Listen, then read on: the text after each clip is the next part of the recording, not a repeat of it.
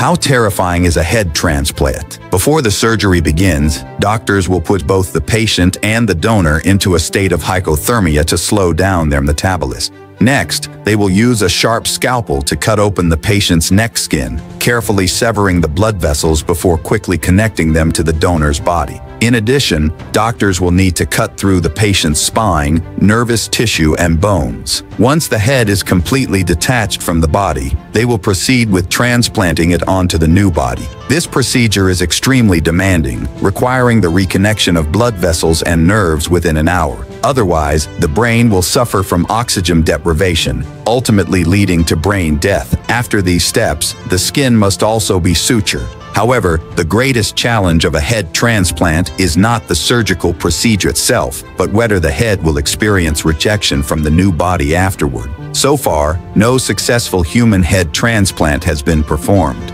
but scientists have conducted countless experiments on mice and achieved significant progress. It is believed that in the near future, human head transplants will become a reality.